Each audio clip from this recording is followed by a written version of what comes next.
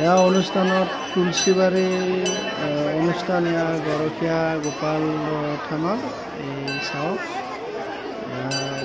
সুন্দৰ পৰিৱেশ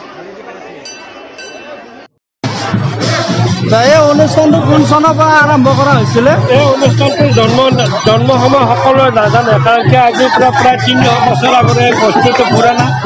ইয়াতে গছ গছনি হাবি জংঘলেৰে ভৰি আছিল। এই বিভিন্ন অঞ্চলৰ বসবাস যেতিয়া হ'ল তেতিয়া এইটো বস্তু দেখা পোৱা হ'ল তাৰপাছত ৰাইজে ইয়াতে গৰু চাৰৰ গৰু চাৰৰ ব্যৱস্থা কৰি গৰখীয়া ল'ৰাবিলাকে আহি ইয়াতে গাছৰ ঘৰত তাৰমানে প্ৰসাদ প্ৰসাদ আদি খাই ইয়াতে উজ্জ্বল কৰিলে। তাৰ পৰা এই অনুষ্ঠানটোৰ নাম ৰাখিলে ৰাইজে গৰখীয়া গোপাল মহাবিদ্যাল বানপানী হ'ল সেই বানপানীত আমাৰ ইয়াতে খেতি শস্য খাই পেলালে তেতিয়া সেই খেতিবিলাকত পোক পৰাত ৰাইজৰ অসন্তুষ্ট হ'ল বা ভকতে এই ওচৰত আহি ক'লে যে প্ৰভু আমিনো খেতি পথাৰ কেনেকৈ বাচাম আপোনাৰ চৰণৰে ভাগৱত পাঠ কৰিম ঊনৈছশ চৌৰাশী চনৰ পৰাই এতিয়া এই কথাটো ক'লে তেতিয়া তাত আৰু পোক পৰুৱা আকৌ নাথাকি। ৰাতিপুৱাৰ পৰা সুন্দৰ সেই পৰুৱা যিমান আছিল একো পৰুৱা ওপৰত নাথাকিল। তাৰপিছত সুন্দৰ হ'ল অংক হেৰি। সকলোৱে ভগৱত শোভাযাত্ৰা কৰি আহি সভাস্থলীত উপস্থিত হয়। তাৰ এক দৃশ্য মনোমোহা দৃশ্য এয়া চাওক লোকে লোকাৰণ্য চাওক লোকে লোকাৰণ্য হৈ আছে সকলো ফালৰ পৰা পিছত চাওক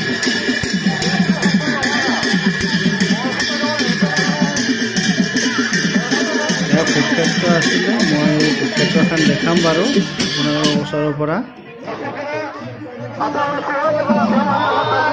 শোভাযাত্ৰাৰ কিছু দৃশ্য আপোনালোকৰ লগত দেখা কৰিলোঁ আৰু লগে লগে গৈ আছোঁ মই মন্দিৰলৈ বুলি। মন্দিৰৰ ভিতৰলৈ নাযাওঁ বাৰু মই। বাহিৰৰ পৰা যিখিনি পাৰোঁ সেইখিনি দেখাম কাৰণ ভগৱত হেৰি কৰি আছিলেতো স্থাপন কৰিব ভগৱান স্থাপন কৰিব তেওঁলোকে। তাৰ বাবে তেওঁলোকে মন্দিৰৰ কিছুমান নিয়ম থাকে নিয়মসমূহ মানি আছিলে।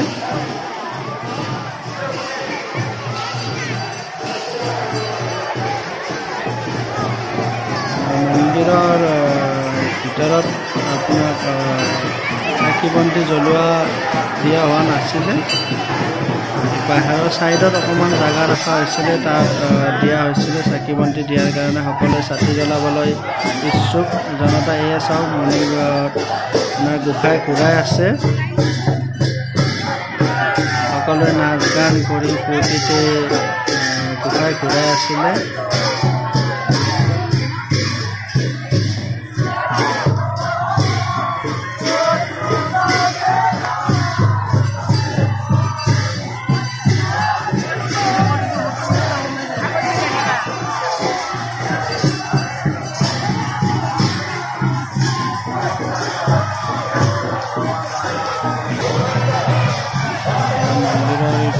কিছু পিছৰ ভিতৰে চৰাৰ দৃশ্য চাওক তাত পূজাৰীসকলে আপোনাৰ প্ৰসাদ দি আছিলে নিৰ্মালি দি আছিলে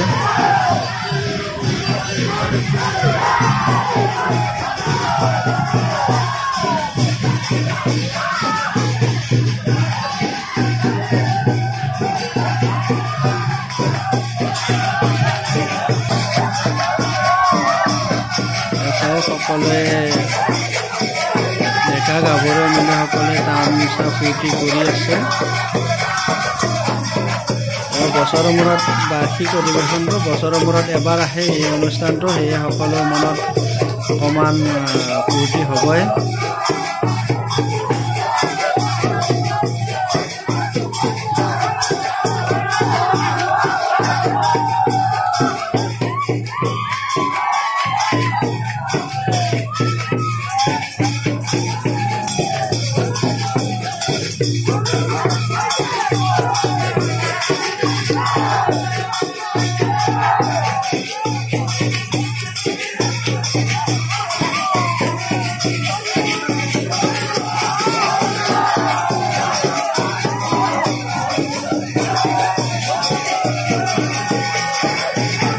ইমান ধুনীয়া এটা পৰিৱেশ আছিলে যে সকলোৱে মানুহে ইমান ডিচিপ্লিনভাৱে পৰিচালিত আছিল সভাস্থলীত।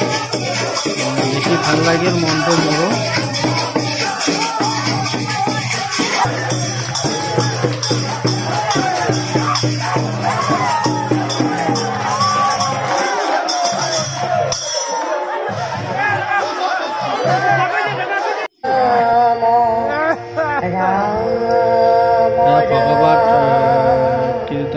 চলি আছিলে ষ্টেজত।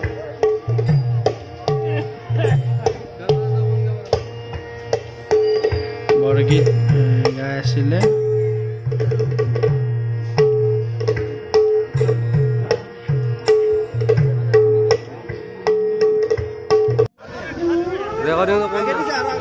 এয়া ভোগস্থলী আছিলে ভোগ বনোৱাৰ কাৰণে আপোনালোকে চাওক কিমান থালি ভোগ বনাই আপোনালোকে চাওক এবাৰ। কথা পাতিবলৈ চেষ্টা কৰিছিলোঁ তেখেতসকলৰ লগত কিন্তু সম্ভৱ নহ'ল কাৰণ তেওঁলোক ইমানেই ব্যস্ত আছিলে যে ভোগ বহুত জলদি দিব লগা আছিলে। সকলো ভোগৰ টাইম হৈ গৈছিল কিন্তু তেখেতসকলে মোৰ লগত কথা পাতিব সময় দিব নোৱাৰিলে কাৰণ ইমানেই ব্যস্ত আছিলে। তেখেতসকলক মই ইমান জোৰো নকৰিলোঁ আৰু ব্যস্ততাৰ মাজতো যে ইমান সহযোগ কৰি আছে সকলোৱে তাত ভাল লাগিল চাই।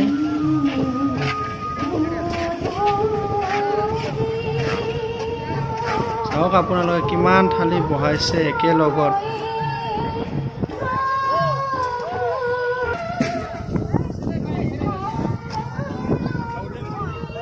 মানে ভোগ আহ, ইমান ভোগ বনাব লাগে যে ইমান মানুহক খোৱা- হয়। সকলো যিমান ভক্তপ্ৰাণ ৰাইজ আহে তাক সকলোকে ভোগ খোৱাৰ ব্যৱস্থা কৰি দিয়া হয় কমিটিৰ তৰফৰ পৰা।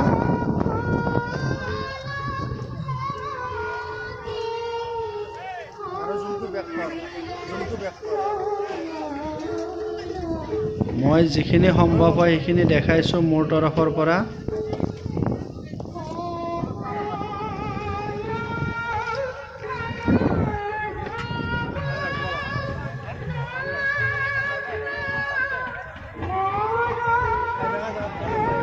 এয়া চব্জি কটাসকলে বৰ্তমান চব্জি কাটি আছে। যোৱা মই এদিন আগৰ পৰাই কাটি আছে চব্জি। আৰু ভোগ ষ্টাৰ্ট আৰম্ভ হৈ গৈছে ভোগ খোৱা আৰম্ভ হৈ গৈছে। এয়া চাওক আপোনালোকে এবাৰ চাব পাৰে ভোগ খোৱা কেনেকুৱা ধৰণৰ খোৱা হয়। আৰু চব ঠেলা গাড়ীৰে লৈ গৈ ভোগ বিতৰণ কৰা হয় কাৰণ ইমানেই মানুহ থাকে যে তাত মানুহ একেবাৰে দিবলৈ সম্ভৱ নহয়। সেইকাৰণে সকলোৱে অকণমান জলদি কৰাৰ কাৰণে বহুত চেষ্টা কৰে সকলোৱে। ভাল পদক্ষেপ কমিটিখনৰ ভাল পদক্ষেপ।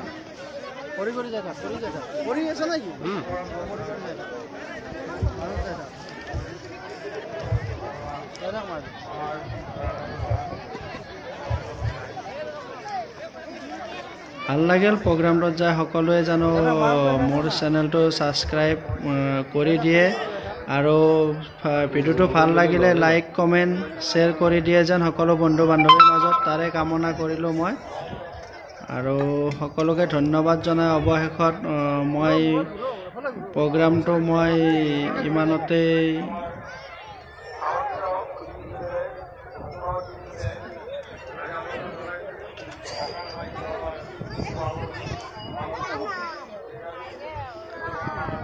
ইমানতে সামৰণি মাৰিম কাৰণ মই যিখিনি পাৰোঁ মোৰ ফালৰ পৰা সেইখিনি দেখুৱালোঁ। আপোনালোকক আপোনালোকে চাই ভাল পালে লাইক কমেণ্ট শ্বেয়াৰ কৰি দিয়ে যেন। তাৰে কামনা কৰিলোঁ আৰু যদি নতুন ভিউৱাৰ্ছ হয় আপুনি মোৰ চেনেলটো ছাবস্ক্ৰাইব কৰি দিব। তাৰে কামনা কৰিলোঁ মই আৰু লগতে আপোনালোকে আহিব পাৰে ছাব্বিছ জানুৱাৰীত গৰখীয়া থান এক নম্বৰ তুলসীবাৰী। আপোনালোকে আহক এবাৰ চাই যাওক কেনেকুৱা লাগে আপোনালোকৰ মনৰ ভাৱ জানিব পাৰিলে ভাল লাগিব কমেণ্টত দিয়ে যেন।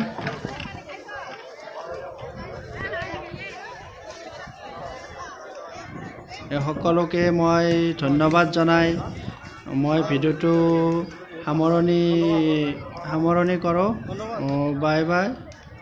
All of you bye bye viewers thank you.